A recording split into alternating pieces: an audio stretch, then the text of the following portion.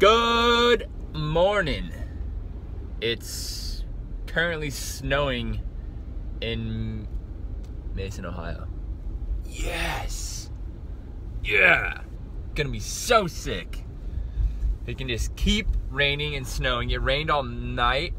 A little bit of snow. There's not much snow on the ground, but it, there's some flurries. God, this is gonna be so sick. All right, we're uh, we're on the mission to grab coffee, and um, there's really no good coffee shops up here, so we'll figure it out. But I just had to had to drop a quick little little hint on the snow. Come back in a bit. Fast forward about hmm, five hours. We're now at the track. We're in mud gear. And it, it is looking so nasty. Oh, see what Lance got. Oh yes, he rides it. Yes, he rides it. He rides it. He rides it. That was uh, that was proper. That was proper.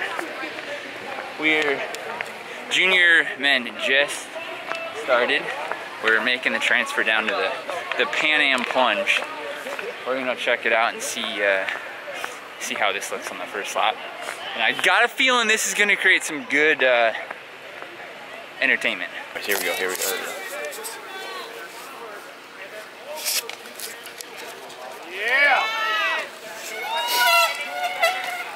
On foot is key, definitely.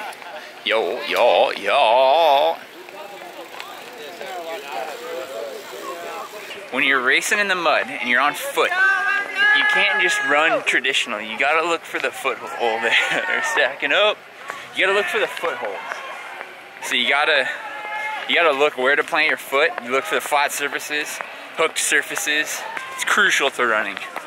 We're running out here too. They're getting loud because they're coming to Pan Am Plunge. what was last year's sign? Uh, I don't. What did you have last year? Close Some- to ain't easy, I think. Or something Yeah. like that. Hey! Yeah! Hey, y'all need a plunge? Hey, should have run more swift though. Hey! this is an actual race now. Yeah! Panama plunge! Panama. Panama! There you go. Off. But do you even plunge, bro? Now, you know I love mud, but the first mud race is always one of those where it's kind of like in Formula One, where in free practice and it's new setups, they try to get as much track time as possible. You got to get familiar with the car, you got to get familiar with the bike. You got to get familiar with riding in the mud again. I love it. You ride relaxed, you stay calm, casual, but you got to maximize your time on the track to get the practice in. Jamming away inside here. Look at this. It's got so much space. My face above the water. My feet can't touch the Right, second round on the track. Like I said before, the more you just get to practice and get to practice, and the better you get out there. It's just track time in the mud. We're feeling really good. That second round was way better than the first round. So feeling feeling more and more confident out here in the mud. It's getting a little tackier, but it's still it's still greasy. It's still proper mud racing. Boom.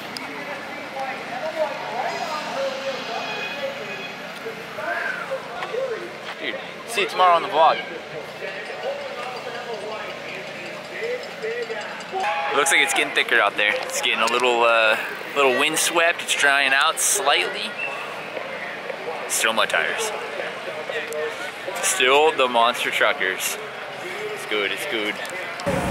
All right, fast forward an hour and 20. We didn't do our usual. I'm gonna put this away. I'm gonna go race my bike, put on the skin suit, blah, blah, blah, blah. Sorry, missed that. Anyways, epic ride in the mud. And started to get sticky, kind of tacking it up a little bit. But whoo, that was awesome. Got a immediately slow start, however, quickly, two, three turns in, was moving up, I think to five, six, seven-ish. And we just kind of stayed there, stayed steady, felt a, felt great in the wet weather. Slipping and sliding, hitting the rut. It was proper. Good stuff. Um, just doing a quick little cool down here and we're gonna get out of these clothes and into some dry stuff quickly, but what an awesome day. This place, Devou, I've never really liked racing here. Devou Park, you've always kind of done me dirty. However, when it gets muddy, oh, so sick.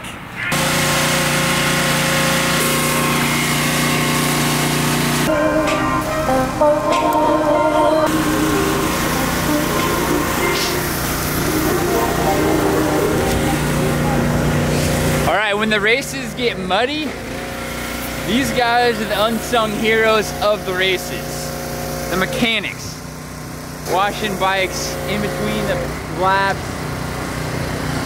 Those guys, those guys down there, hold on. Those guys right there, SRAM NRS, those guys kill it, crush it, for it. All the mechanics, you guys, winners, they make it possible for us to do this when it's muddy. Good, it's good. I know I just talked about it, but did I mention that today's race conditions were amazing?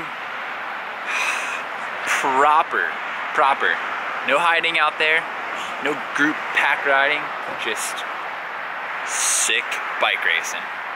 It's grub time, you know where we're at today? We're gonna we're gonna test it out. We're gonna see how it stacks up to the original.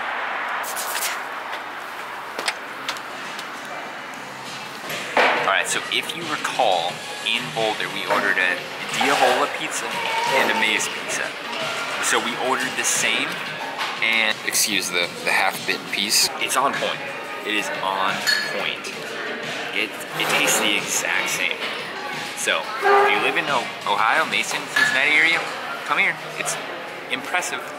All right, so uh, we ended up getting, they misordered, mismade our order. We got three, three, three free pizzas. So, and we polished off, we, we ate, of the three extra, we ate six pizzas total. Um, there's four or five of us. We killed with an extra. No, we had one than nine pizzas. Well, we actually, it's not like sushi burrito. We didn't over order. We didn't. We, we ordered properly. These guys were all here for sushi burrito too. We ordered correctly. We, we did. They they misordered. sushi burrito with bananas. they misordered, and so we got free pizzas, and we just got free dessert. So so far, I, I'm gonna put this one higher than the one in Boulder because they don't give me free stuff in Boulder. This is cooler. The bubble, Bubble. the bubble is blinding. They know I'm from California, and they don't they don't like me there. So here's to the dessert. Done pizza. Thank you for the extras. So good. So good. Um, I got, I got, I got nothing else. We will see you guys tomorrow. More bike action. Hopefully more mud, but I'm, I'm leery. I'm leery of it, but you never know. You never know. So we'll see you guys tomorrow. Over and out. Peace.